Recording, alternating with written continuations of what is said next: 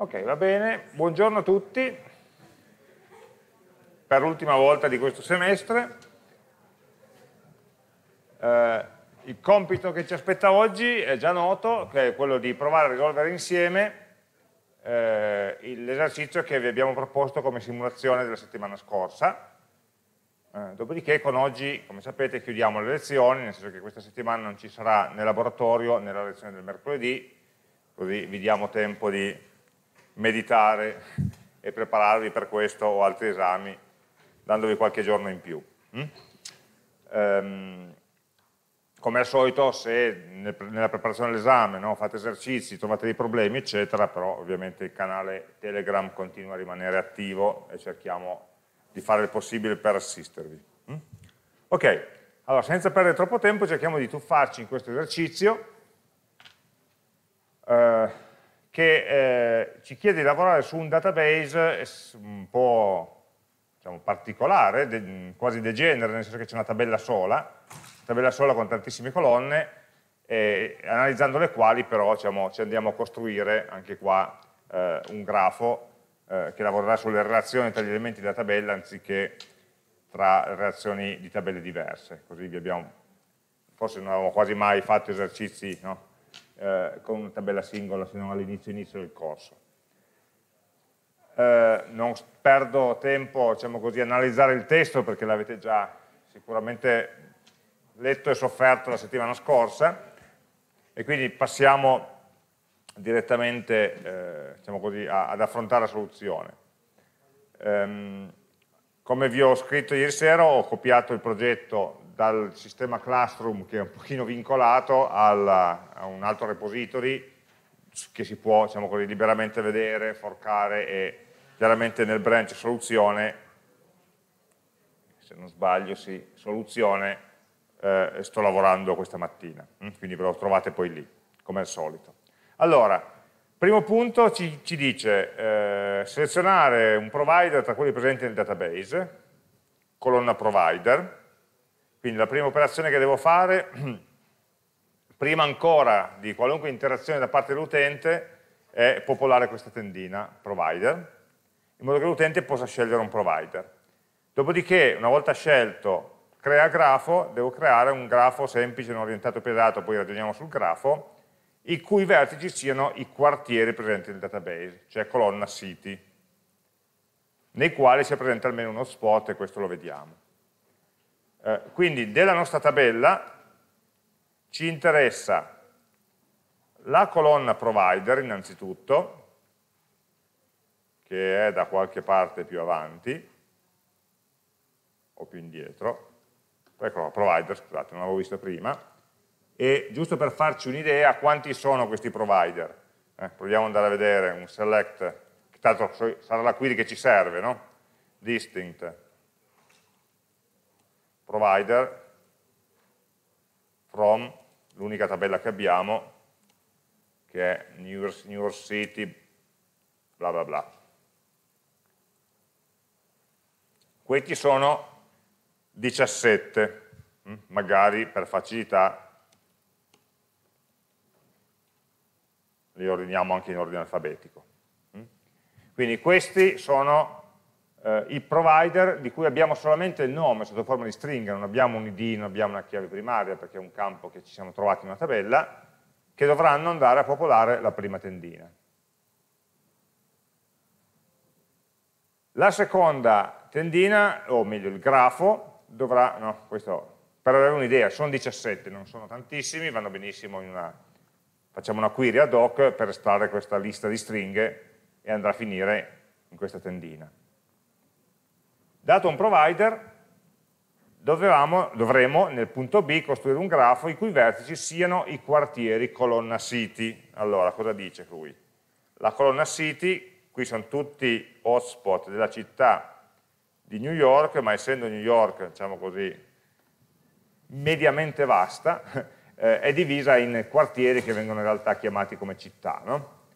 E quanti sono questi quartieri? Lo possiamo anche andare a vedere qua select, giusto per farci un'idea, di quanti vertici avrà il grafo, poi ci serve questo per capire che algoritmi usare, no? Uh, city, from, sempre lei, eh, new city, questa tabella qua, vieni qua. E sono 44, se vogliamo ordiniamoli anche qua, solo perché siano più leggibili. Sono 44 città, quindi 44 è il numero massimo di vertici che il mio grafo potrà avere. Okay? Massimo perché poi nel grafo, come dice il testo, dovremo inserire solamente le siti che, eh, nei quali compare almeno un hotspot del provider eh, selezionato. Quindi non tutti i provider coprono tutte le siti, però diciamo, come ordine di grandezza abbiamo un grafo con 44 vertici. Questo quando penseremo alla costruzione del grafo già ci fa pensare che qualunque metodo di creazione andrà bene, anche quello diciamo, tra virgolette più stupido, in cui faccio tutte le n quadro possibilità, perché sono comunque 40 vertici, me la posso cavare a fare un eh, 1600 query. No? Eh, quindi non mi devo preoccupare troppo delle prestazioni durante la costruzione del grafo, mi devo preoccupare di più della mia, mia prestazione nel riuscire a scrivere il codice. Mm? Ok, questo come diciamo, analisi iniziale. Adesso possiamo eh, guardare ancora il punto C, così capiamo un po' meglio come è fatto questo grafo, poi passiamo a implementare i vari metodi. Allora, i, eh, i vertici sono, dicevamo, un sottoinsieme di, di, colonne, questo non sono tutti, dovremmo mettere poi una, un filtro eh, che selezioni una città solamente se c'è almeno un provider, ma la query poi la facciamo. Una volta che ho selezionato le città, cioè i quartieri in cui c'è il provider, devo collegare, mettere un arco, se il provider P fornisce almeno un hotspot in entrambi i quartieri. Eh, il che dovrebbe essere tutti, questa, è una, vogliamo, questa frase qua è un po' residuo da una versione precedente del, del testo in cui pensavamo di mettere tutti i quartieri, no? perché io già ho creato il grafo mettendo come vertici solo i quartieri offer ehm, diciamo così, offerti da quell'hotspot, coperti da quell'hotspot, da quel provider. E poi dopo mi dice, se il provider P fornisce almeno un hotspot in entrambi i quartieri, eh, per forza, se no quel quartiere non l'avrei messo. No? Quindi in realtà questa fase qui non ci aggiunge nulla, dobbiamo mettere gli archi tra tutti i vertici. Il peso dell'arco rappresenta la distanza espressa in chilometri tra i due quartieri. Peccato che noi, quindi, ci serve longitudine e latitudine del quartiere 1 e del quartiere 2 e sulla base di questo calcoleremo la distanza tra questi due quartieri. Eh, il problema è che noi non abbiamo un quartiere, no? l'informazione quartiere sul database, abbiamo l'informazione solamente sugli hotspot. E quindi lui mi dice, guarda, per calcolare, per stimare diciamo così, la distanza tra i quartieri, fammi una media delle posizioni degli hotspot in esse presenti. Quindi l'idea è, eh, il peso dell'arco dovrà essere una distanza in chilometri tra i due quartieri. Io i quartieri non li ho geolocalizzati, ma gli hotspot sì. Quindi eh, per ciascun quartiere dovrò trovarmi la posizione media, il baricentro in certo senso, dei vari hotspot presenti. Questa è un'informazione che eh, mi serve a livello di quartiere. Allora, probabilmente tanto vale che io la calcoli quando estraggo i quartieri, non quando calcolo gli archi. No? Se io eh, estressi l'elenco dei quartieri, così ho estratto solamente il nome, potrei calcolare anche, già che ci sono, la longitudine e la latitudine media degli hotspot di quel quartiere, filtrato per provider. Se io avessi una tabella che oltre alla city mi desse la longitudine media e la latitudine media degli hotspot di quella, di quella city, sulla base di questa tabella mi costruisco l'intero grafo, senza più fare nessuna query aggiuntiva. Mm?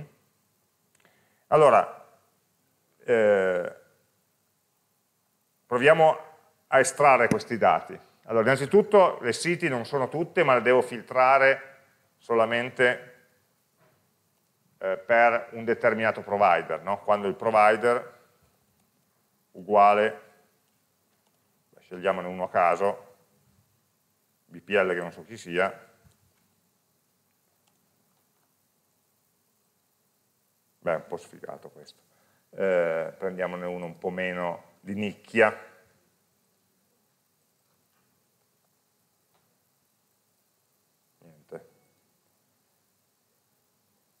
TNT sono sicuro che copre tutto.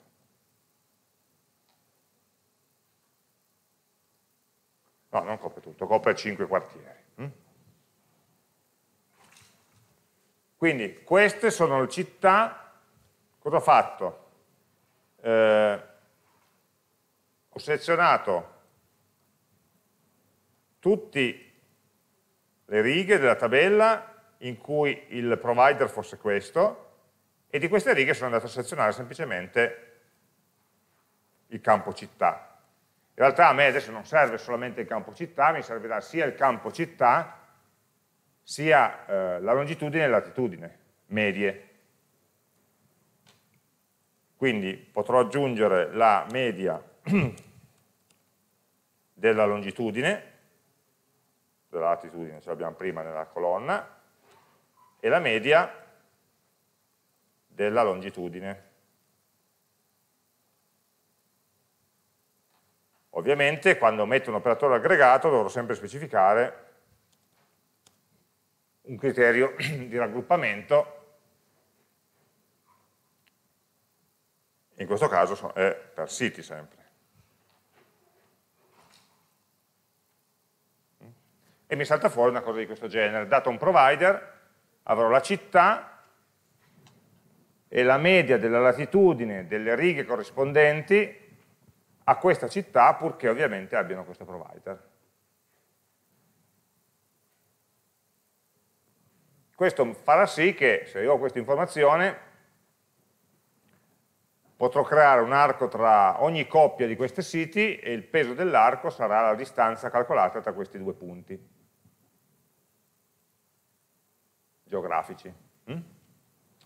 Eh, diamo solo per comodità un nome alle colonne, così in Java è più facile estrarle, eh, lat as long, lng, non chiamiamolo long che è già il nome di un tipo di dato. Mm? Latitudine e longitudine.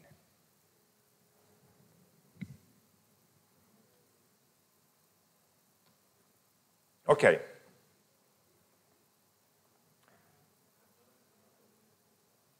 Allora, passiamo al codice direi, a questo punto il primo passo è quello di trovare i provider, l'elenco dei provider, non abbiamo oggetti, sono solamente stringhe, a meno di non volerci creare noi un oggetto provider che contenga solamente una stringa, ma per ciò che ci dobbiamo fare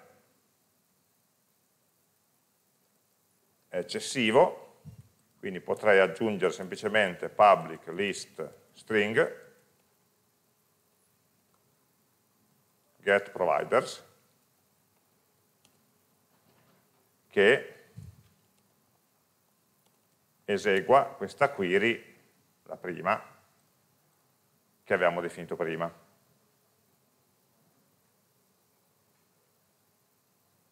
Cioè l'elenco completo e alfabeto eh, dei provider distinti tra di loro. A questo punto abbiamo sempre il solito codice,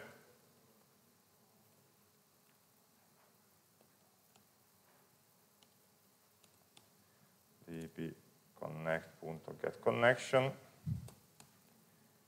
ehm, prepare statement, connection.prepare statement del nostro SQL, ci mettiamo il punto e virgola, ci mettiamo il try catch,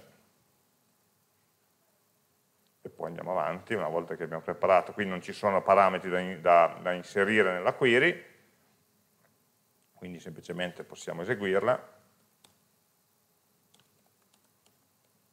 execute query, e poi creiamo questa lista e la restituiamo, quindi list di string result uguale new array list di string while res.next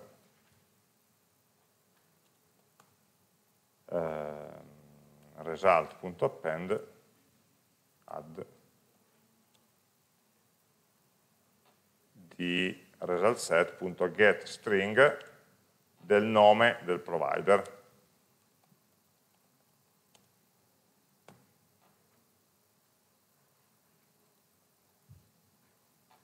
Fatto questo chiudo la query e ritorno risultato. Altrimenti ritorno null con due L soli.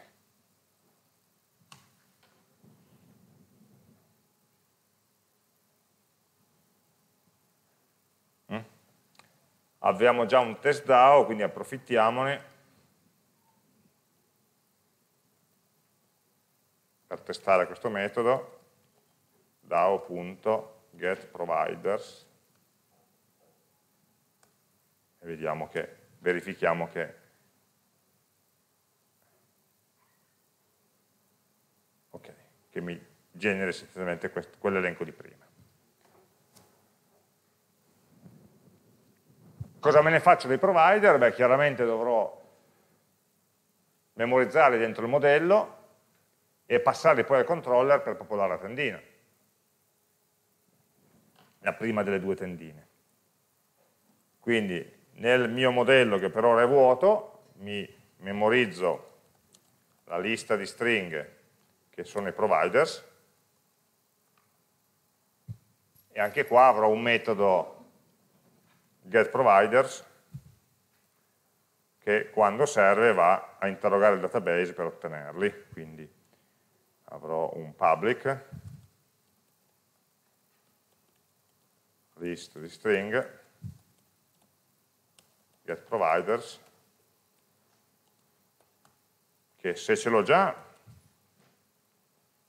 restituisce i provider stessi. Ma se questi non fossero ancora definiti, devo prima di tutto andarmeli a leggere dal database. Quindi if this.providers fosse ancora null, allora eh, new city DAO, istanzia il DAO,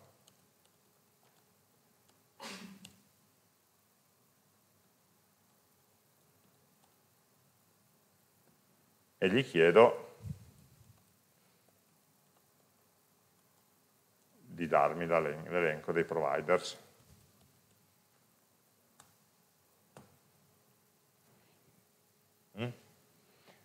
Questo modo evito di, nel caso in cui il controller volesse chiamare più volte o il programma chiamasse più volte il metodo getProviders, la query la faccio una sola, una sola volta all'inizio, perché tanto so che è un dato che non cambia, non ha parametri, il database non cambia, è inutile rifare più volte la stessa query. Quindi il modello in qualche modo fa, fa anche da filtro rispetto all'accesso al database. Una volta che il modello ha questo, posso usarlo, usare questo metodo getProviders nel mio controller, che avevamo lassù, eh, nel, nel um, progetto base se vado a vedere il main c'era già tutta la parte di istanziazione del controller, del set model, eccetera, quindi questa parte non dobbiamo, in questo esercizio era già stata preparata per noi, quindi non ce ne dobbiamo preoccupare. Sappiamo che il modello è già definito e vogliamo popolare la tendina che si chiama provider, che era già stata, qui qualcuno aveva già indicato string al posto del punto interrogativo, e quindi semplicemente dovremo popolare questa tendina, quando? Prima della prima interazione dell'utente, ma dopo che il model è stato già eh, inizializzato, quindi non lo possiamo fare in initialize perché l'oggetto model è ancora nullo qua, lo metteremo nel set model in cui semplicemente vado a impostare il valore della tendina provider. Mm? Quindi abbiamo la combo box provider, get items, add all model.getProviders.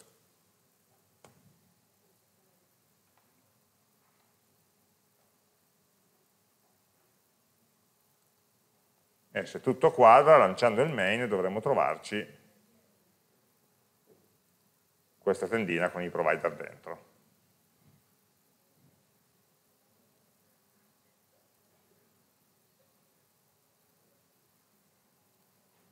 Ok.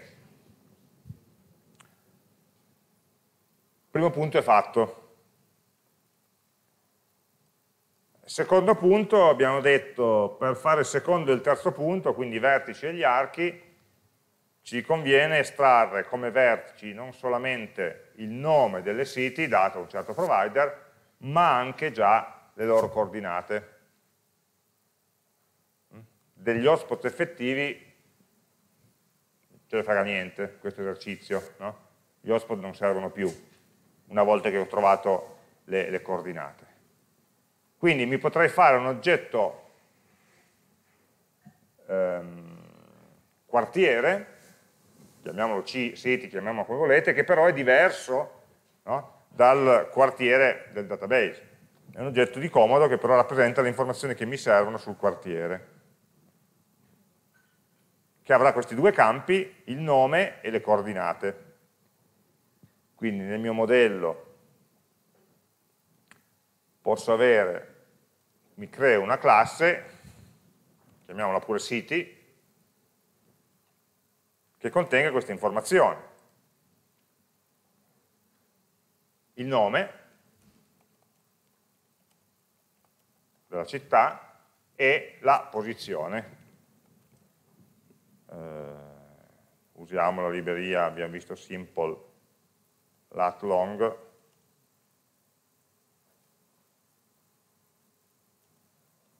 c'è no? Scusate se... Sì.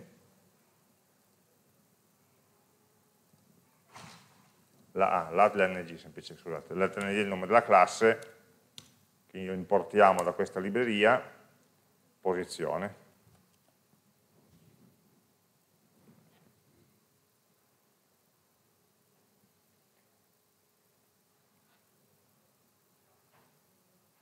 E a questo punto ci aggiungiamo i metodi base, costruttore,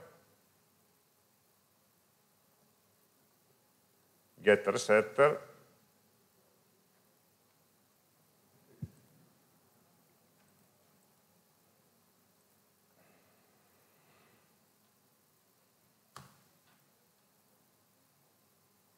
e questi dovranno essere i vertici del nostro grafo, giusto? Se sono i vertici del grafo devono essere hashable, quindi devo, finire, devo definire hashcode equals, perché vanno a finire in un set. E quindi aggiungerò anche hashcode equals che lavorano chiaramente solamente sul nome. Il nome è il campo univoco di questo elenco di, di, di siti. Quindi faccio generare hashcode equals lavorando solamente sulla variabile nome, sulla stringa nome.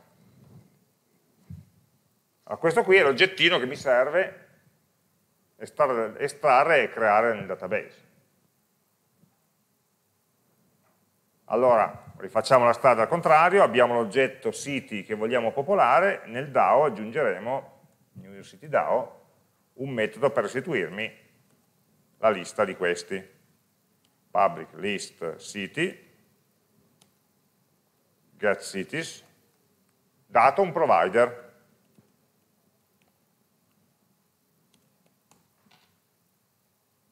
City lo andiamo a importare chiaramente dal modello. Il provider sarà il parametro della nostra query, questo punto interrogativo qua in mezzo. Quindi questa sarà la query che vogliamo fare e mi creerà degli oggetti di tipo city. String SQL uguale questa cosa qua, dove al posto di provider ci metto il punto interrogativo, ricordiamo sempre gli spazi alla fine della riga,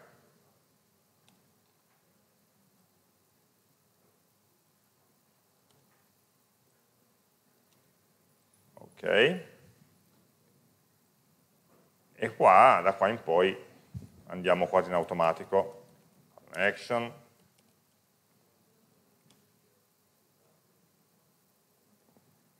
Prepare statement.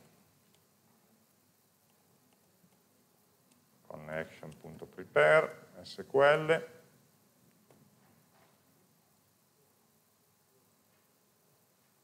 qui dentro a questo punto devo impostare il parametro, set che è una, una stringa, il parametro 1 si imposta col valore di provider.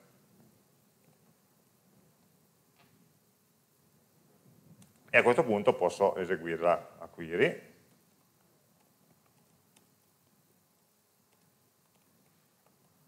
Execute query. E estrarre i valori. Quindi il valore è una lista di siti,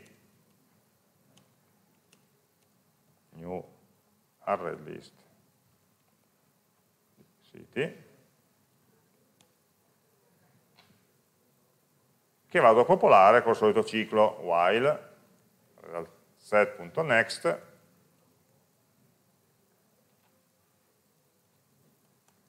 result.add nuovo oggetto siti e il nuovo oggetto siti ha due parametri, il primo è il nome della città, quindi sarà resultSet.getString della colonna che si chiama city,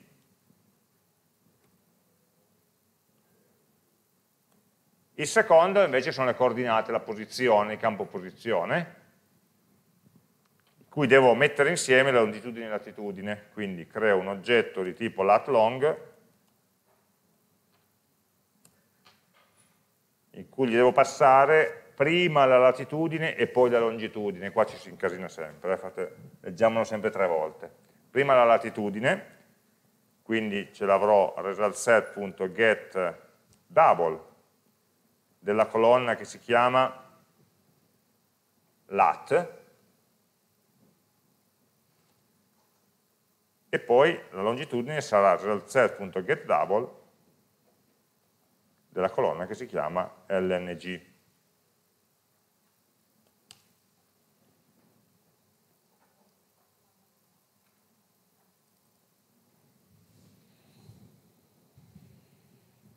Quindi eh, city ha due parametri, una stringa e un lat long, il lat long ha due parametri che sono i due double e dovremmo avere tutto.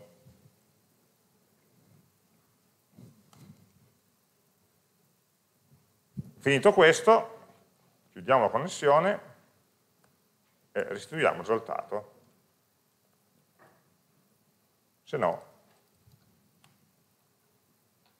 spariamo un null.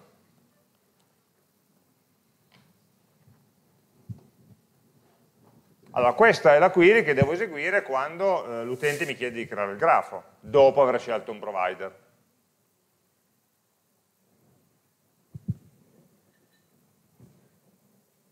Questa query va a ricalcolare l'elenco delle città, dipendenti ovviamente dal, dal provider scelto, e il modello se le va a memorizzare come vertici del grafo, poi crea il grafo stesso.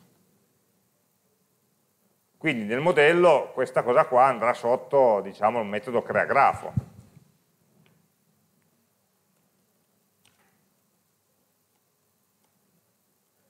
Void, non riesco a scrivere, ho le spostate.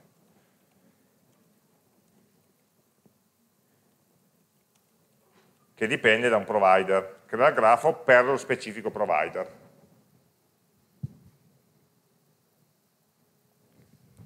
E la prima cosa che faccio quando creo il grafo è estraggo l'elenco delle città, e quindi anche qua a livello di modello mi conviene ricordarmele, private list di siti, città,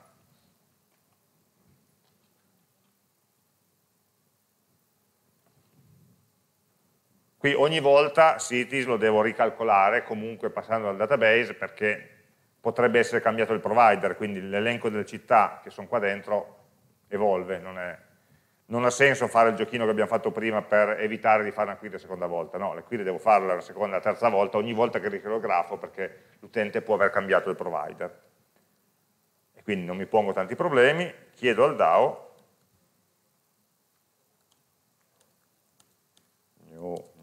iscritti DAO, gli chiedo di darmi l'elenco delle città, eh, DAO.getCities di questo provider. Una volta che ho le città posso creare il grafo come mi è stato richiesto. Andiamo a leggere meglio le caratteristiche del grafo, è un grafo semplice, non orientato e pesato, quindi un simple weighted graph. Quindi anche qua definiremo un grafo i cui vertici sono siti, oggetti siti, e i cui archi siano archi orientati. Default weighted edge grafo. Qui devo importare un po' di roba, la graph e l'edge.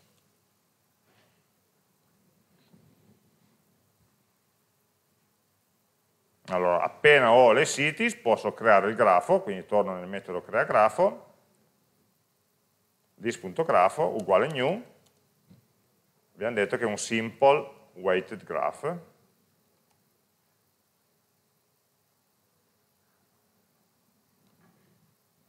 e la classe dell'arco default weighted edge.class.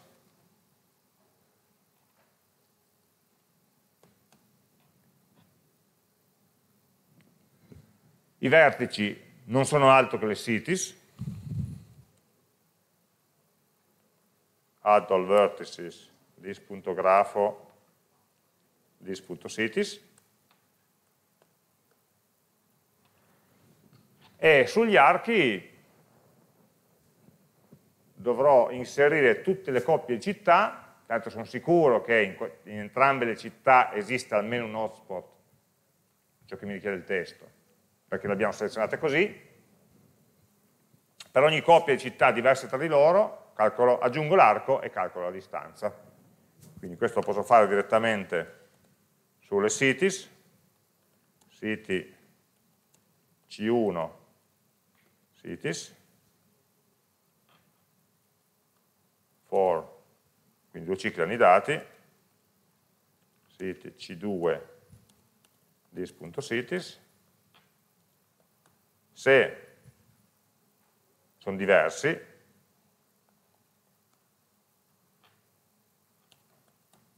non aggiungo l'arco tra una città e se stessa, chiaramente, aggiungo l'arco a questo punto eh, il peso dell'arco sarà la distanza tra le due città.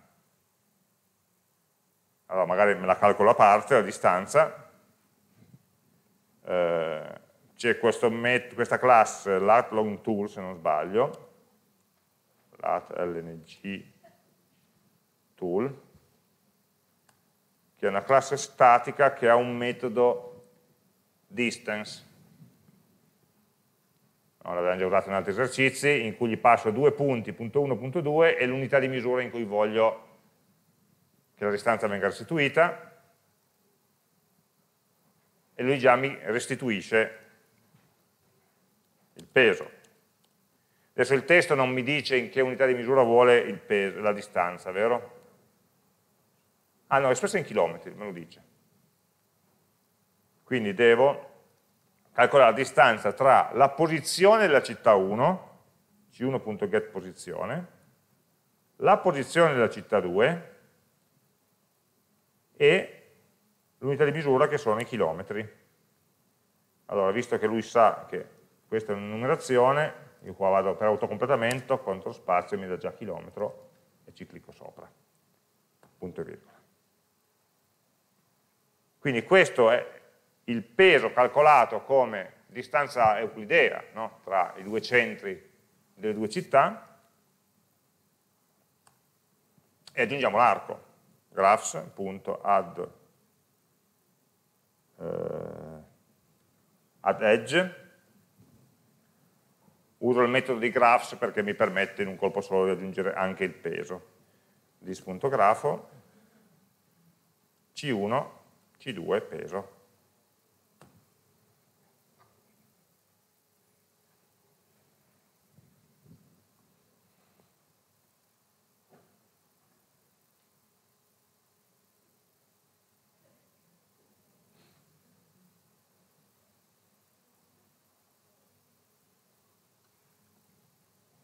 Okay? Quindi dovremmo aver completato, adesso poi lo testiamo, i punti B e C. Poi già che ci sono devo permettere all'utente di selezionare un quartiere tra quelli presenti nel grafo. Vabbè, trovare i quartieri presenti nel grafo ce li abbiamo già perché abbiamo già dis.cities, dal punto di vista del controller servirà semplicemente un metodo per accedervi.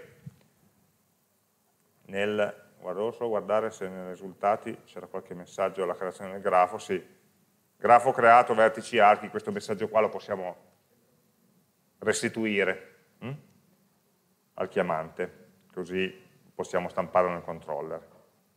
Quindi come facciamo a volte, anziché il grafo in realtà non ha nulla da restituire, però per comodità potremmo aggiungere un messaggio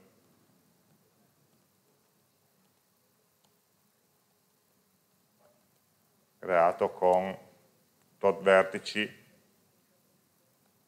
e tot archi.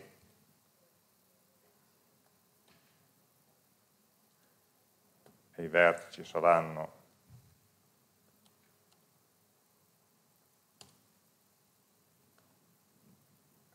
dis.grafo vertex set size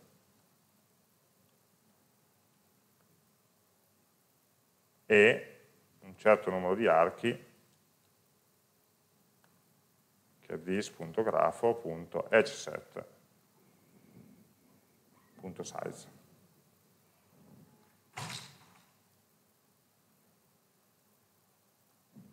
rotonda. Okay.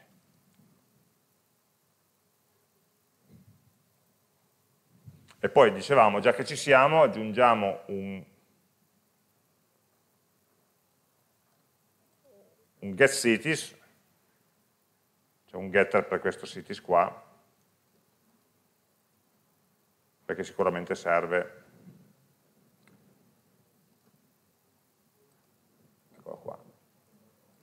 siamo pigri, ce la facciamo generare da Eclipse. Una riga di codice. Lo metto solo in fondo.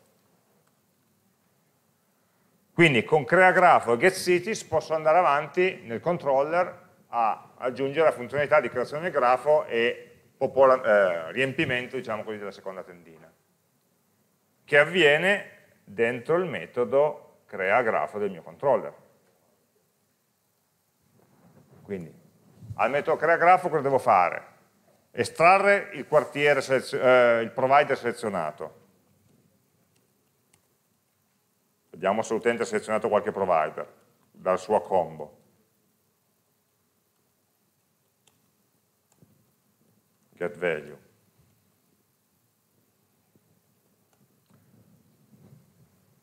Se non ha selezionato nulla, non c'è nulla da fare, ok? Quindi if provider uguale null, non ho selezionato nulla, allora metto un bel messaggino, eh, errore, devi selezionare un provider.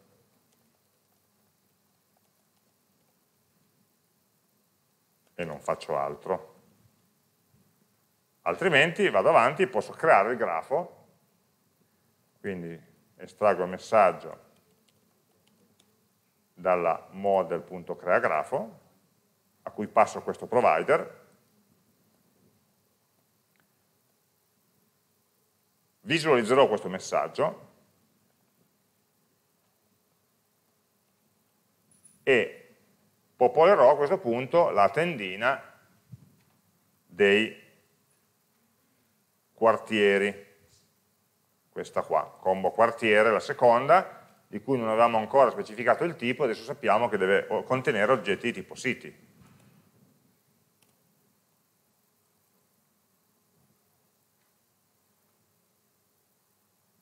È il nome dell'oggetto che abbiamo dato per, per il quartiere. Eh, quindi combo quartieri, quartiere si chiama, sì? punto getItems prima di tutto lo pulisco e poi ci aggiungo quelli nuovi, perché ricordiamoci che crea grafo può essere cliccata più volte e ogni volta l'elenco dei quartieri può essere diverso. Combo quartiere, non provider. Punto get item sempre, add all, model.get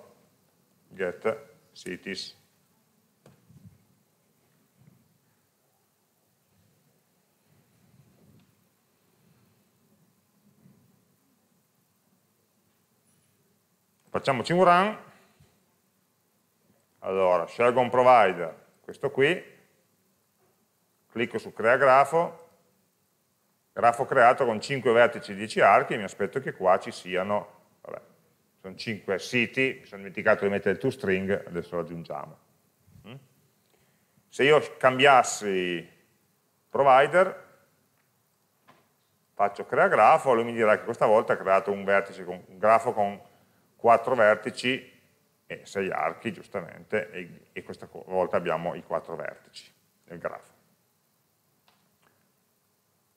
Quindi mi manca solo il toString dentro l'oggetto city, ma questo faccio in fretta a farmelo creare. Solamente col nome, il resto non mi serve. Ma niente di speciale, semplicemente il nome.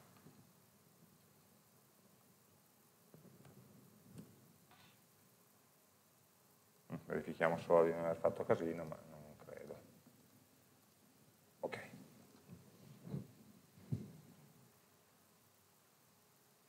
Allora, ci rimane, se non sbaglio, l'ultimissimo punto, il punto D, in cui permette all'utente di selezionare dall'apposita tendina, cioè quelli dei quartieri che abbiamo appena popolato, un quartiere tra quelli presenti nel grafo, ok?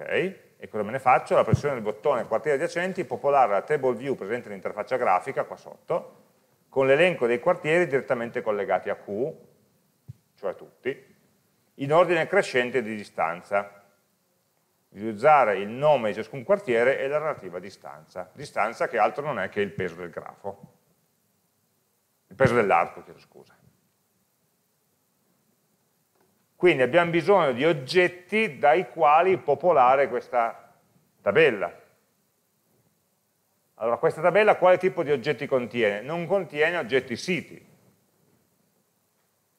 no? perché l'oggetto siti contiene sì il nome del quartiere, ma le sue coordinate, e non me ne faccio nulla delle coordinate perché a me serve solamente la distanza rispetto al quartiere selezionato. Quindi dovrò creare un altro tipo di oggetto che contenga anche quell'informazione. Oppure, direbbe qualcuno, puoi aggiungere una colonna al campo siti all'oggetto city. Mi piace poco aggiungere una colonna all'oggetto city perché ogni volta che l'utente da questa tendina seleziona un quartiere diverso dovrei andare a cambiare i valori di tutti i siti presenti. No? Eh, non mi piace tanto andare a modificare il valore dei vertici del grafo una volta che il grafo è stato creato. È vero che sono campi che non interessano, non servono al grafo però. Oltre al fatto che eh, la, la, lista cities contiene tutti i vertici, mentre invece questa tabella devo farli vedere tutti meno uno, perché quello selezionato chiaramente non lo faccio vedere. Quindi mi conviene creare un oggettino che contenga semplicemente il nome del quartiere e eh, la distanza a partire dal, dal quartiere selezionato. Eh, quindi torno nel mio modello, creo un altro oggettino, eh, diciamo city distance, hm, che conterrà al suo interno solamente questi due campi, private. String, nome, l'avevamo chiamato così, e private double. Distanza.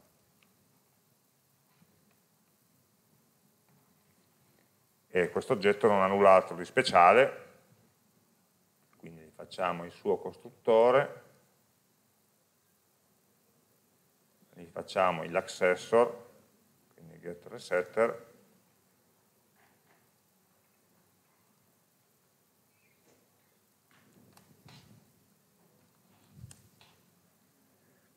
e quindi questi oggetti saranno quelli che andranno a popolare la tabella e dovranno essere calcolati a partire dal grafo, quando l'utente seleziona un quartiere.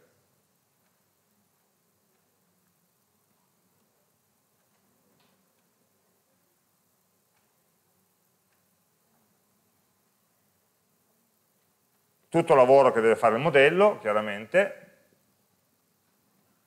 quindi il modello quando eh, gli viene richiesto deve restituire una, di, una lista di questi oggetti basata sul quartiere scelto. Mm? Quindi public, lista, public, lista di, l'abbiamo chiamato city distance,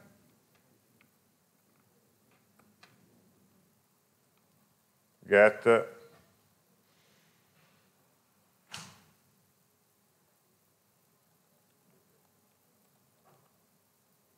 o poca fantasia, city distances, ehm, che dipende ovviamente dal quartiere scelto, chiamiamolo pure scelto.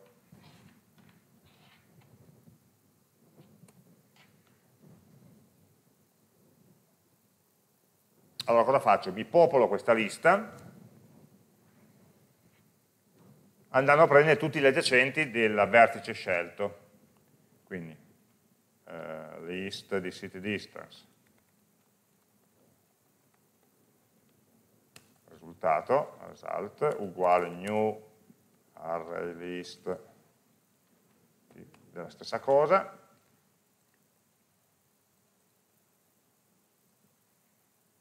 poi prendo gli adiacenti, i vertici adiacenti del vertice scelto, quindi graphs.get uh, no, get uh, neighbor list, neighbor list of,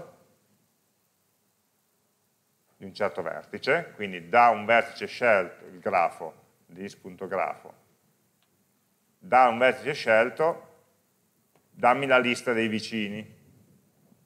Okay? Poiché il grafo è non orientato usiamo neighbor, se fosse un grafo orientato useremo il successor list o il predecessor list, a seconda del verso in cui vogliamo attraversare l'arco. Okay? Questo qua mi dà una lista di siti, che sono i vicini.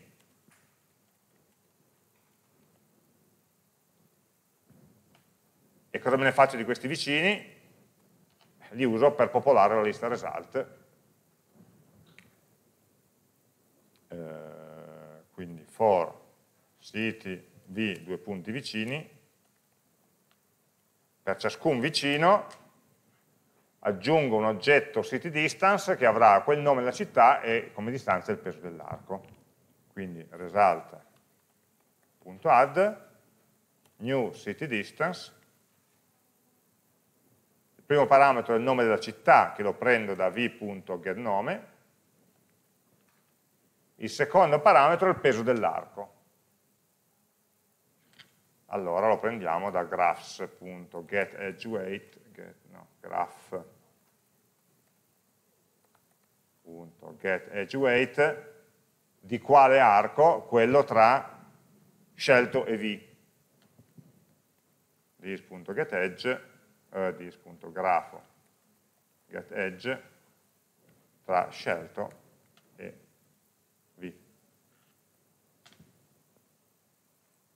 Quindi decomponiamo questa, abbiamo detto new city distance e questa seconda espressione che è lunghetta, altro non è che il peso dell'arco tra scelto e V, quindi estraggo l'arco tra scelto e V e ne estraggo il peso. Diventa il secondo parametro di city distance. Poi sta roba qua devo, il testo mi dice ancora, eh, in ordine crescente di distanza, quindi dalla più vicina alla più lontana, dalla più piccola alla più grande. Quindi prima di restituire questa lista al controller mi conviene ordinarla. Quindi collection.sort di result e ovviamente dovrò avere come secondo parametro un, una, un oggetto comparatore che agisca sulla distanza, sull'attributo distanza. Possiamo crearci la classe eh, oppure semplicemente istanziarne uno online. Un comparator di city distance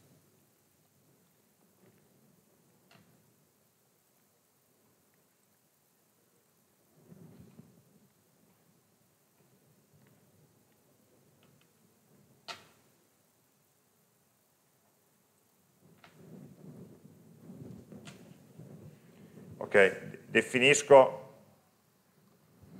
questa sintassi qua è la stessa che avevamo forse usato per creare gli event handler online, inline, no? per evitare di costruirmi un oggetto e poi riferirlo una volta sola.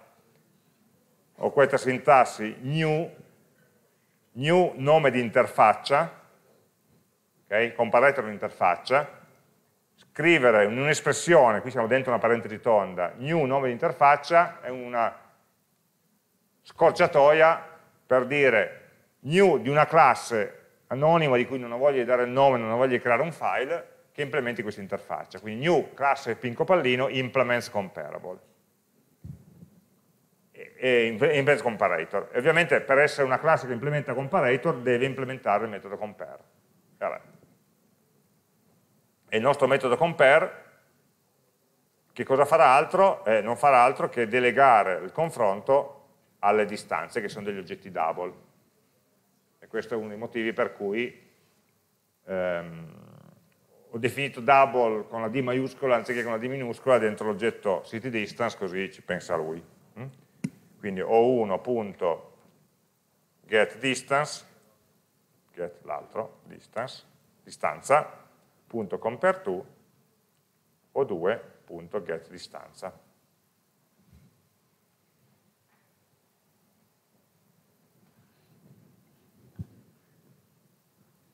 Se non ho sbagliato, che è un bel se, posso restituire il risultato al mio chiamante che sarà il controller.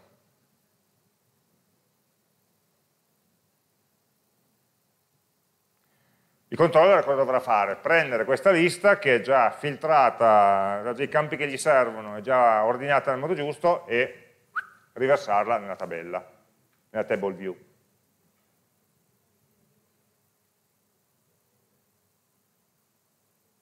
Vedo qualcuno perplesso. Ok? Ok. Allora, torniamo al controller e abbiamo questo quartiere adiacenti che è il nostro metodo che vuoto e bianco ci sta aspettando. Eh, può essere cliccato quando, solo se l'utente ha selezionato un quartiere, quindi andiamo a estrarre la city dal, dalla seconda tendina, quartiere scelto, l'abbiamo chiamato, continuiamo a chiamarlo scelto, uguale combo dei quartieri, get value, questo deve essere selezionato, altrimenti non, non siamo contenti,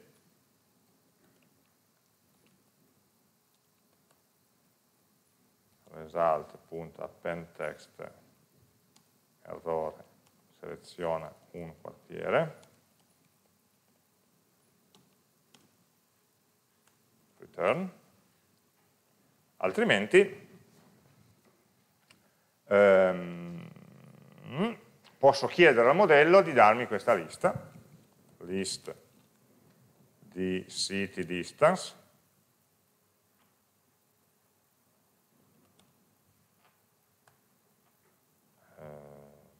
distanze uguale model.getCityDistance dello scelto, perfetto.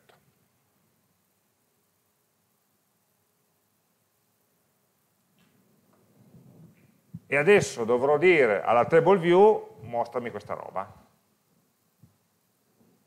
Allora, nella table view ha sempre bisogno di due porzioni di codice, la prima per configurarla, la seconda per popolarla effettivamente. Mm? Quindi eh, configurarla significa innanzitutto dare i tipi dei dati alla tabella e alle colonne, quindi questi punti interrogativi che avevamo qua vanno definiti. Noi abbiamo deciso che gli oggetti che vogliamo, di cui vogliamo mostrare i valori nella tabella sono oggetti di tipo city distance, quindi la nostra tabella conterrà dei city distance. E le due colonne, il primo parametro è sempre il tipo della tabella, il secondo parametro è il tipo del valore da mostrare. Quindi quartiere sarà un nome, sarà una stringa, distanza sarà un double. L'oggetto da mostrare nella tabella.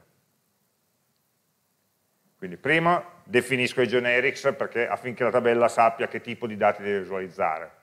Le, il tipo delle righe è il tipo di oggetto, il tipo delle colonne, vabbè, sono i singoli attributi. Poi però devo insegnare anche alle colonne ad estrarre da un oggetto, alla prima colonna devo insegnare ad estrarre dall'oggetto cityDistance la stringa che contiene il quartiere e alla seconda colonna dovrò insegnare come estrarre da un oggetto cityDistance il double che contiene la distanza. Questo lo possiamo fare una volta sola all'inizio, no, nell'initialize va benissimo, tanto è una configurazione fatta una tantum sui tipi della tabella, quindi noi ci preoccupa la colonna, ad esempio sul quartiere,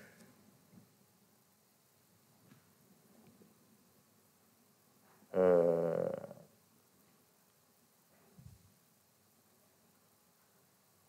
dobbiamo impostare eh, la proprietà cell value factory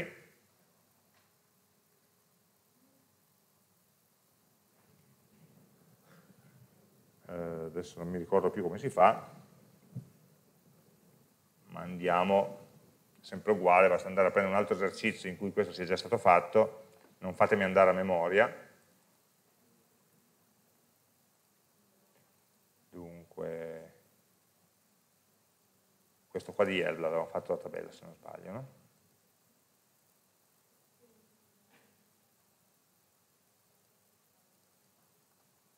Esatto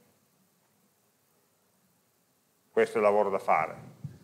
Impostare per ogni colonna il, la proprietà cell value factory e nel nostro caso ci basta semplicemente avere un nuovo oggetto che property value factory. No? Quindi questa qua sono, ricordate che all'esame potete fare l'operazione che sto facendo io, quindi non sto barando,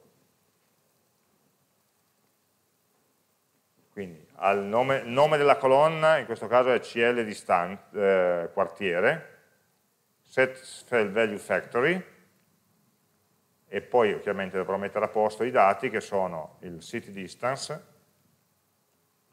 e string, e qua tra virgolette ci devo mettere il nome dell'attributo da estrarre, che è nome. Distance è un attributo che si chiama nome, se non sbaglio,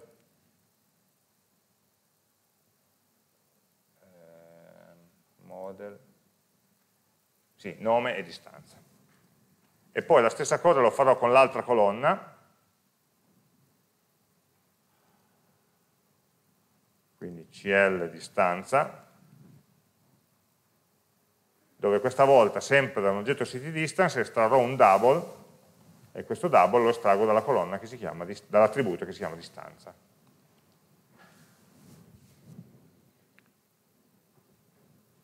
Se, non, se ci dimentichiamo di fare queste due operazioni, la tabella sarà vuota, cioè le celle saranno tutte bianche. Il numero di righe sarà giusto, ma il, le, le singole celle non sapranno cosa visualizzare. Ok, possiamo a questo punto tornare su, perché mi segnali un errore da qualche parte tu?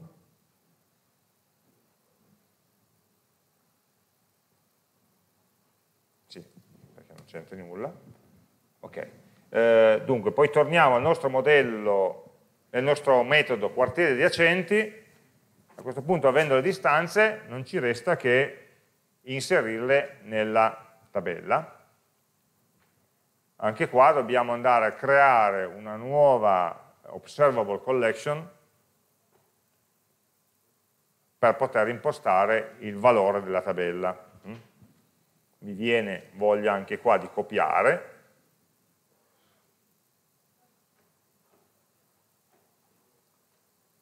da ciò che avevamo fatto eh, dove è andato?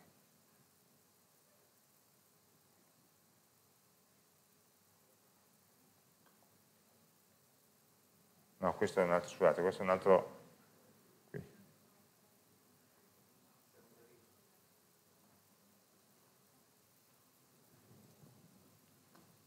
ok qui avevo già modificato per fare col chart poi in realtà non siamo riusciti con le lezioni allora qua dobbiamo prendere la tabella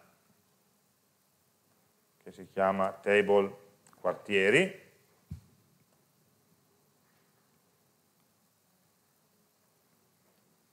eh, fatemi prendere anche qua. Guardate, faccio prima prenderlo.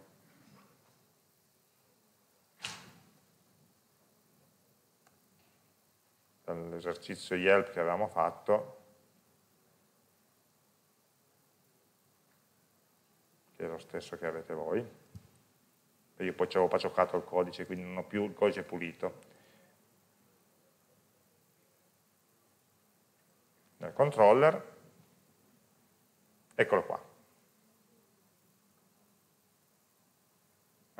Dobbiamo estrarre dal modello una collection e poi costruire un observable, observable array list e setItems è il metodo che collega i contenuti di questa collection alla tabella. Quindi setItems fx collections. Observable array list e dentro questo observable array list ci metto la lista da cui estrarlo, da cui popolarlo, model.get getCityDistance, ah no, ce l'ho già, scusate, distanze.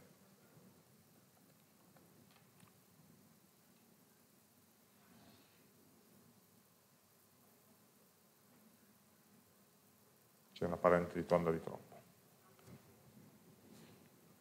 E questo dovrebbe, in teoria, riempire la tabella.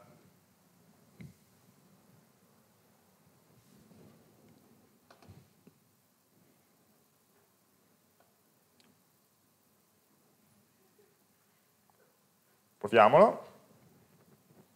Allora, scelgo un provider, creo il grafo, scelgo un quartiere, clicco su quartieri adiacenti e mi dà effettivamente tutti i quartieri tranne Brooklyn, Brooklyn, con una distanza che effettivamente è un numero crescente. Adesso uno volendo potrebbe arrotondarla, fare tante belle cose carine, ma cambiando il quartiere chiaramente cambia sia l'elenco dei quartieri, perché sono tutti tranne lui, sia le distanze. Se vado a ricambiare, prendiamo qualcuno un pochino più, questo 4 vertici, questo non è 5, togliamone.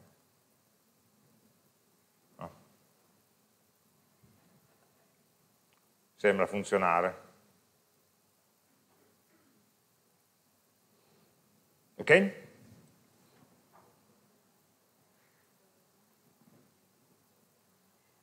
Se vogliamo verificarlo dovrebbe esserci nel testo sempre, noi abbiamo messo dei valori a caso, andiamo a verificare quelli che sono stati proposti qua nella soluzione, link New City, Queens, quindi creo il grafo con questo, scelgo Queens e mi dovrebbe dare New York Blue, vediamo, confrontiamo, questo che mi dà il tempo reale con quello che era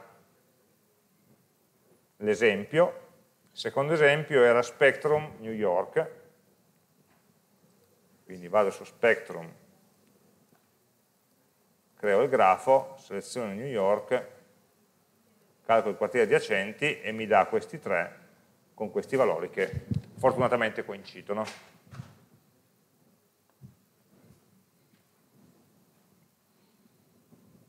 Ok, e con questo abbiamo direi chiuso e concluso il primo punto dell'esercizio.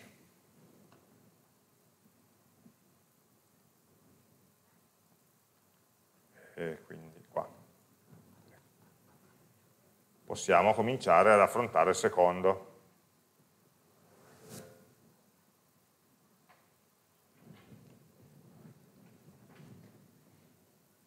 Ok, ci abbiamo messo un'oretta insieme, tranquilli, passo passo, è chiaro che ci avevamo già ragionato un pochino su questo esercizio, quindi no, è ragionevole che più o meno all'esame ci metteremo allo stesso tempo, forse un pochino di più, ma non molto. Mm? Eh, ciò che ci ha, secondo me, semplificato la vita in questo esercizio specifico è pensare così, pensare a questa tabella perché altrimenti forse avremmo dovuto costruire del, dell'oggetto di adiacenza in più, fare query più complicate. Mm. Quindi se vi fermate a ragionare un attimo sui dati prima di cominciare a buttarvi sul codice, perché in tanti esercizi abbiamo sempre fatto così, mm, magari risparmiate. Cioè, se guardiamo il codice che abbiamo ottenuto, nella creazione degli archi non c'è nessuna query. La crea grafo, quando crea gli archi, non fa nessuna query qua dentro. Quindi noi avevamo il metodo 1, 2, 3 che facevano query in modo diverso, qua è ancora una cosa diversa. No? Quindi non, non, vincoliamoci troppo al ma in quell'esercizio è fatto in quel modo. Dipende, hm? come sempre. Ok, punto 2, invece ci chiede di fare una simulazione um, fatemi dire forse un po' contorta, ma anche qua bisogna andare per passi. Allora ci dice, eh, ho n tecnici informatici, e questo n ovviamente lo inserisco nella mia casellina di testo, che è stata incaricata dal provider P, quindi quello del nostro selezionato, di revisionare tutti gli hotspot del provider presenti nella città di New York. La squadra di n, quindi tutti quelli nel grafo, tutti gli hotspot del grafo. La squadra di n tecnici inizia la procedura di revisione dal quartiere Q, selezionato al punto 1, e poi mi spiega come funziona. Quindi io ho il mio grafo con i vari quartieri, okay? ogni quartiere ha tanti hotspot, gli hotspot finora me ne ho fregato bellamente, non mi sono mai serviti. Adesso vediamo se mi servono, se mi dovessero servire oppure no. Ogni hotspot del quartiere viene revisionato da un singolo tecnico, e quindi è possibile che alcuni hotspot non vengano revisionati immediatamente per mancanza di tecnici, oppure che alcuni tecnici non siano impiegati in questo quartiere, cioè, sta frase qua cosa dice? Quando tu hai dei, dei tecnici, li mandi tutti nel quartiere Q e vedi quanti hotspot ci sono, quanti tecnici ci sono, cerchi di mandare un tecnico per ogni hotspot. Poi può darsi che i due numeri non coincidano, quindi o hai più tecnici e qualcuno non, non farà nulla, o hai più hotspot e qualcuno di questi hotspot non sarà immediatamente servito. Okay? Oppure matchano esattamente, caso fortunato, che il numero di tecnici sia esattamente uguale al numero di hotspot di quel quartiere, vabbè, ma è un caso particolare. Ogni tecnico, quando lavora su un hotspot, ci sta per 10 o 15 minuti a seconda di una certa probabilità. Quindi ci lavora per un certo tempo. Quindi ci immaginiamo questi tecnici che vanno ciascuno sull'hotspot e dopo 10-15 minuti avranno finito il lavoro di quell'hotspot lì. Quando la revisione di un hotspot termina, il tecnico passa al prossimo hotspot ancora da revisionare, sempre all'interno dello stesso quartiere. Ok, quindi rimango sempre nello stesso quartiere, fino a quando tutti, tutti, gli hotspot stati, di quel quartiere non sono stati revisionati. Il passaggio da un hotspot all'altro ha una durata variabile tra 10 e 20 minuti. Ok, va bene. Perché lui si deve spostare da una torre a un'altra, scendere, salire, prendere la scala, fare le sue cose. Ovviamente il eh, prossimo hotspot ancora da revisionare se c'è, perché magari i suoi colleghi li hanno già finiti tutti e quindi lui non ha nulla da fare, si metterà in pausa. Quando la squadra, e questo se vogliamo è il punto forse un pochino più complicato, ha terminato la revisione di tutti gli hotspot di un quartiere, essa, la squadra, si sposta tutta insieme in un altro quartiere, vabbè, quello ancora da revisionare più vicino. La durata di questo spostamento dipende dalla distanza dei due quartieri, vabbè, si supponga, cioè che il nostro peso dell'arco, si supponga che la squadra si muova a una certa velocità e che i tecnici non abbiamo problemi di orario, possono andare avanti in continuità. Ok? Il valore di n, numero di tecnici, viene inserito dall'utente e devo riportare in output la durata totale del processo, quindi il numero di minuti per cui tutti sono andati avanti, e il numero totale di hotspot revisionati da ogni tecnico. Quindi da ogni tecnico vuol dire che il tecnico 1 mi dirà io ne ho revisionati 5, il tecnico 2 ne ho revisionati 6 e così via. Questa è un'informazione che ci dice che dobbiamo mantenere informazione specifica sul singolo tecnico. Non mi basta sapere quanti sono, ma devo sapere chi ha fatto cosa, ok? Per poterlo riportare in output. Magari durante la simulazione non mi sarebbe servito, ma per, visto che mi viene chiesto in output lo devo fare, lo devo tracciare. Mentre forse non me ne frega niente degli hotspot. Alla simulazione. Immaginiamo che io devo sapere essenzialmente quanti hotspot ci sono in ciascun quartiere. Giusto?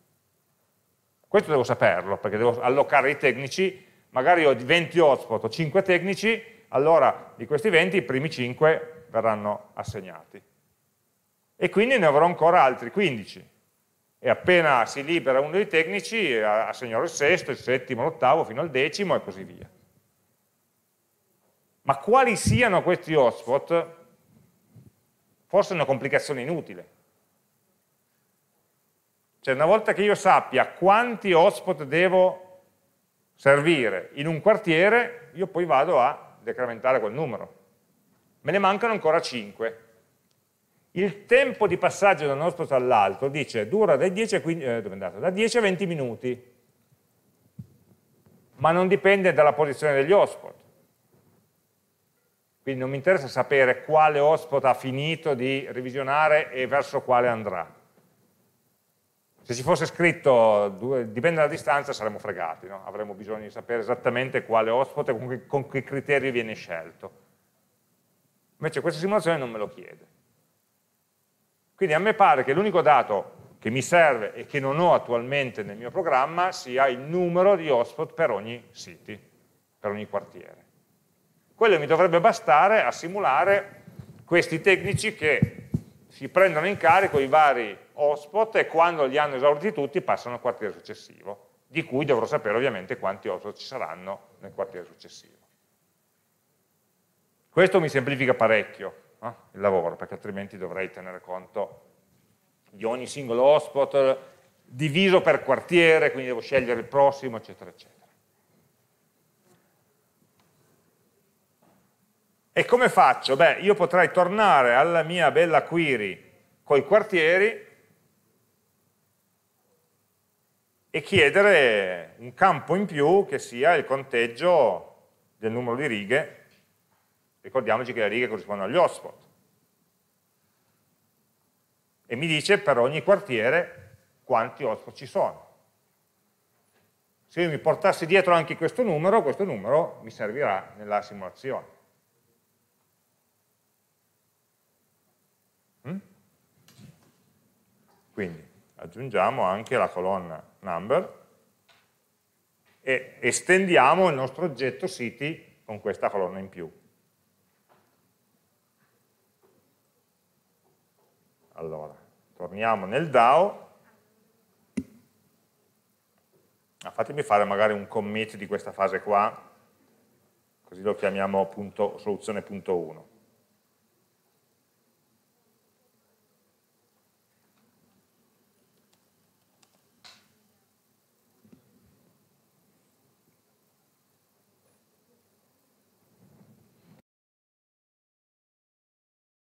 prendere il nostro Partiamo, partiamo, sì, siti ci serve, dobbiamo aggiungere un altro campo che sia il numero di hotspot. presenti in questa city. Questo qua lo dovrò aggiungere chiaramente tra gli argomenti del costruttore.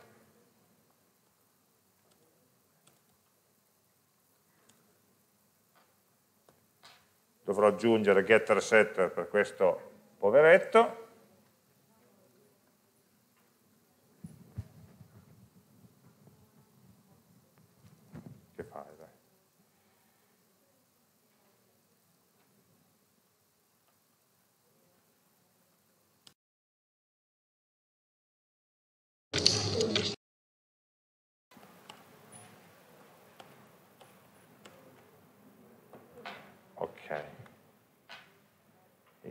E setter sono andati a finire qua sotto, get numero, set numero di hotspot. Okay. Una volta che ho aggiunto questo alla classe city, il DAO si arrabbia, chiaramente, perché il suo costruttore non funziona più, ma io ci devo aggiungere alla query questa piccola clausola in più, qua in fondo, e ovviamente estrarre un terzo parametro nel costruttore dei siti che sia l'intero della colonna num. L'ho chiamata num, vero? L'ho chiamata num, sì. Quindi mi sono portato dentro questo dato che mi servirà nella simulazione. Verifichiamo che di non aver rotto nulla, continua a funzionare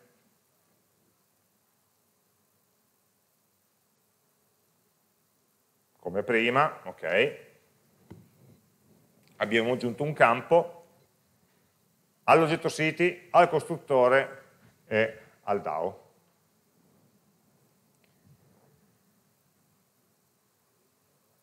Ok, fatto questo, torniamo a ragionare sulla nostra simulazione. Quindi qual è, cosa succede? Lo stato principale della simulazione. Cosa devo sapere io? Io devo sapere in ogni istante di tempo qual è il quartiere su cui sto lavorando e quanti hotspot ho già servito o sto già servendo di quel quartiere.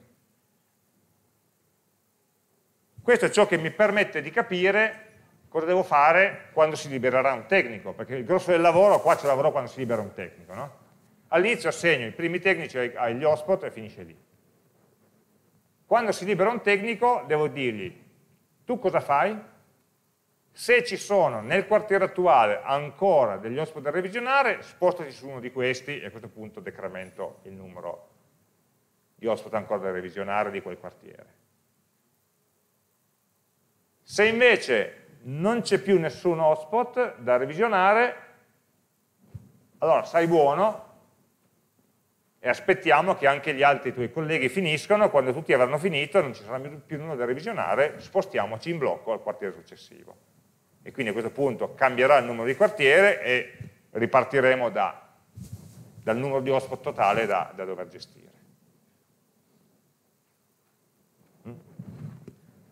Quindi Proviamo a codificare questo ragionamento in una classe simulatore.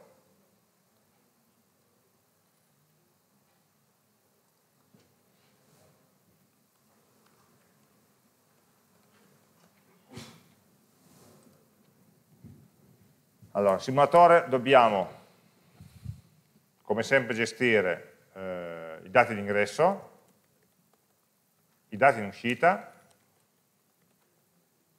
il modello del mondo e la coda degli eventi. Partiamo dalle parti facili, ci facciamo un'idea dei dati su cui dobbiamo lavorare e poi abbiamo l'ora successiva per scrivere il codice. Allora, dati di ingresso quali sono? Beh, il grafo sicuramente, l'elenco delle città, perché di città mi serve perché ha dentro il numero di hotspot di quella città, e mi serve, mm? quindi mi servirà sicuramente eh, il grafo, Il grafo mi serve per sapere quali sono, per spostarmi da un quartiere all'altro. Okay? Graph di, eh, si chiamava City, Default Weighted Edge,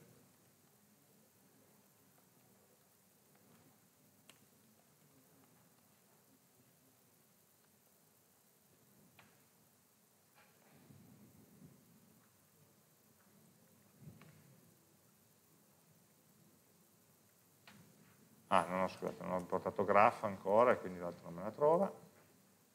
Ok? e poi mi serve l'elenco delle città.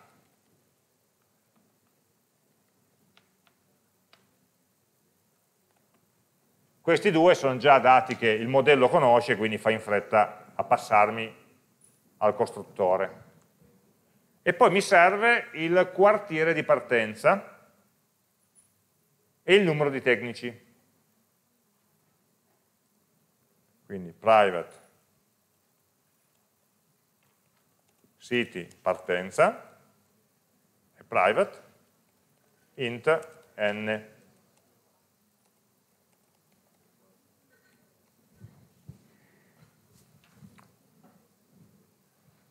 Questi sono gli ingressi costanti, non cambieranno mai durante la simulazione.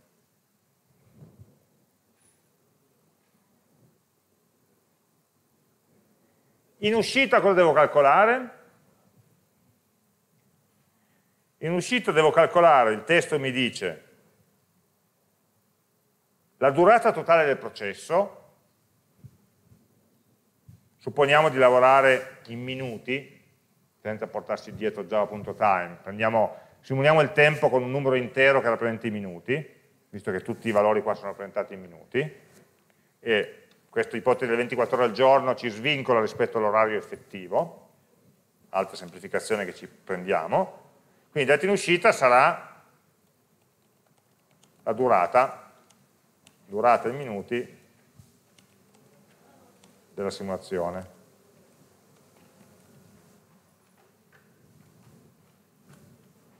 E poi l'altro dato, un pochino più complicato, dice il numero totale di hotspot revisionati da ogni tecnico. I tecnici sono n, non hanno un nome, quindi saranno per noi tecnico, dal tecnico 0 al tecnico n-1, ciascuno di questi avrà revisionato un certo numero di hotspot.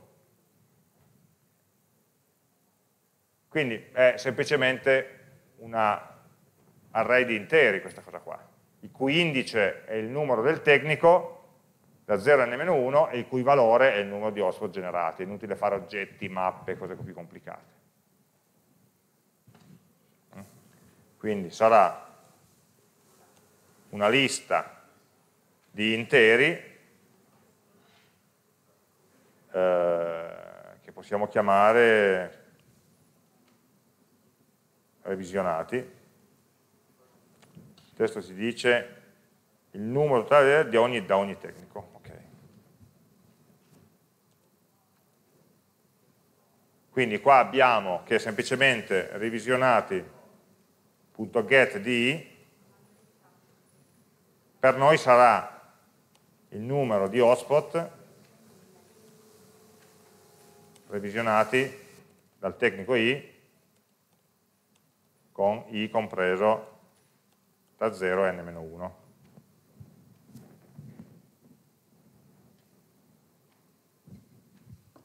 Una batteria di contatori che incrementiamo tutte le volte che uno dei nostri tecnici fa qualcosa. Quindi l'identità degli hotspot non la teniamo, non ci interessa. L'identità del tecnico sì. Identità per modo di dire, cioè sarà un numero tra 0 e n-1. E questo è il nostro output. Il modello del mondo è quell'insieme di informazioni che ci serve per capire come andare avanti quando succede qualcosa. Allora, io dovrò sapere sicuramente in che quartiere sono,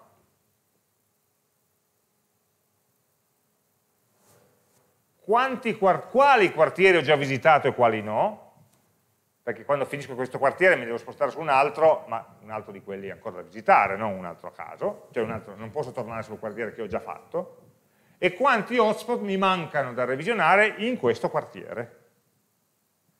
Ancora da revisionare in questo quartiere. Poi quando cambio quartiere questo numero chiaramente lo reinizializzerò al numero di hotspot del quartiere in cui entro. Quindi avrò una lista di quartieri da visitare. L'informazione sul quartiere che sto visitando adesso e il numero di hotspot ancora da eh, revisionare in questo quartiere. A me vengono in mente queste tre informazioni, non, mi, non so se ci serve altro, ma temo di no. Spero di no. Eh, quindi abbiamo detto una lista, o un set, o una collection, un qualche collection, per ora metto list per facilità, di siti da visitare. Questi sono i quartieri ancora da visitare. Inizialmente sono tutti, cioè inizialmente questa lista da visitare è uguale a questa, chiaramente. Poi via via si riduce. Non vado a, toccare, a cancellare gli elementi da questa, ovviamente, se no il modello si arrabbia. Poi eh, una city corrente, chiamiamola current city, quartiere in lavorazione,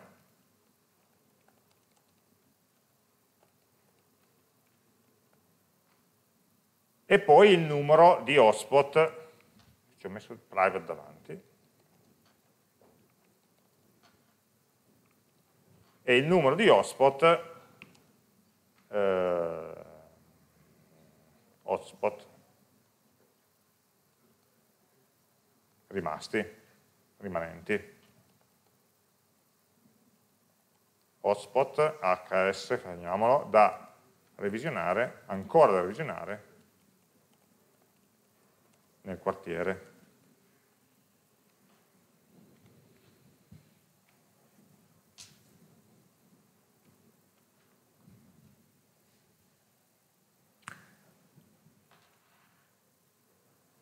dobbiamo solo precisare, secondo me, se questa lista da visitare contiene o no il current. Secondo me no. Io direi che io sono sul current che è quello di partenza e quelli da visitare sono gli altri, tranne me, non, non ci sono già più io. Hm? Quindi mettiamolo escluso tra parentesi escluso current city, che è già in qualche modo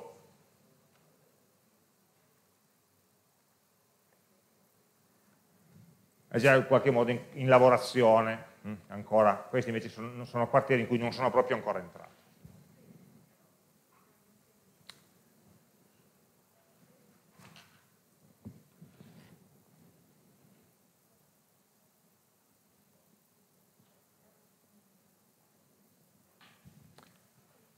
Ok.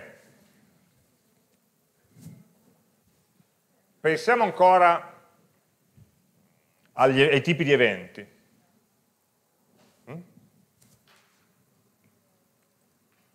Allora, anche qua creo un oggetto evento,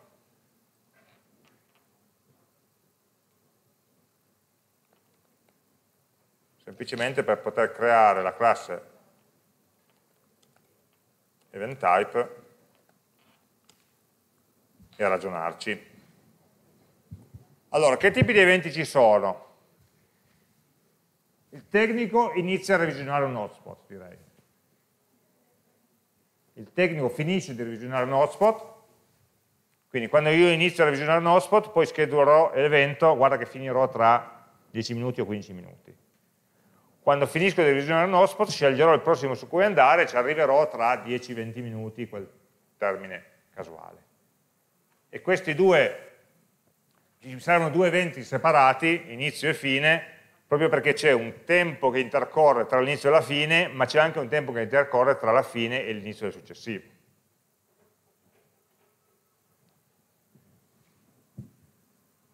Quindi, ehm,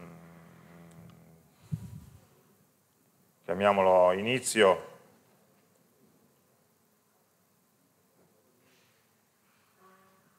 hotspot e fine hotspot. Quindi questo significa che il tecnico inizia a lavorare su un hotspot e il tecnico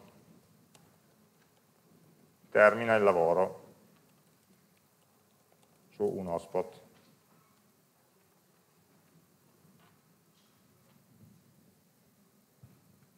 Poi dovremo gestire in qualche modo anche, e questo secondo me basta per, finché sono all'interno di un certo quartiere, no?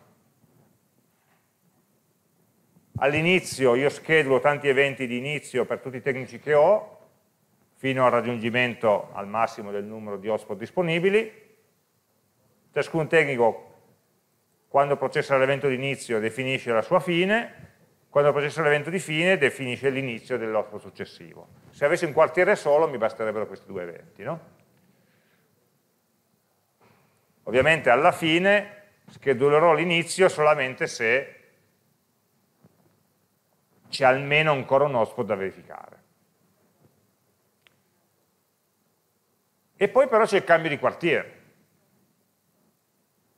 Il cambio di quartiere è un evento un pochino più complicato perché avviene quando tutti i tecnici sono disoccupati in qualche modo. Quindi in realtà mi servirà ancora un'altra informazione che cerchiamo di capire come gestire, che dice quanti tecnici sono al lavoro. Se il numero di tecnici al lavoro diventa zero, allora devo cambiare quartiere.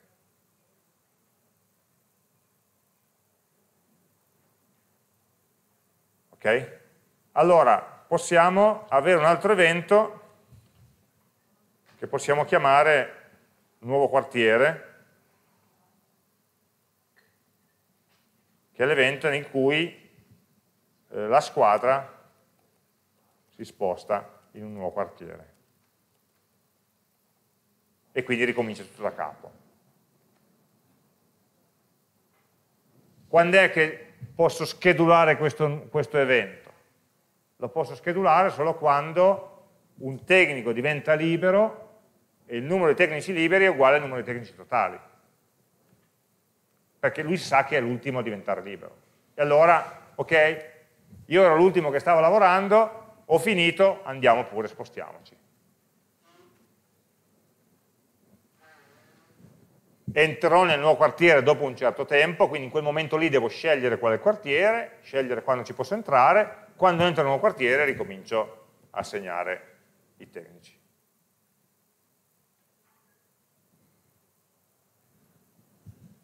Questo mi fa capire che mi serve ancora nel mio simulatore un altro dato sul modello del mondo che mi dice quanti sono i tecnici liberi o i tecnici occupati senza doverlo andare a cercare nella coda degli eventi.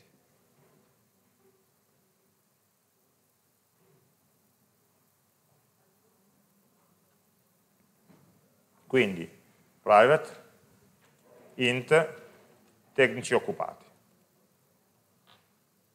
Quanti tecnici sono impegnati.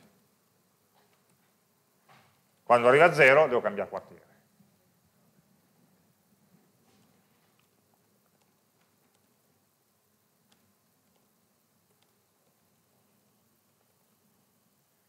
Cambio quartiere ovviamente se ho ancora un quartiere verso cui andare. Se non ho più quartieri, l'evento di cambio quartiere non lo genero e la simulazione si asciuga, si termina, si, si ferma lì perché non ci sono altri eventi da elaborare.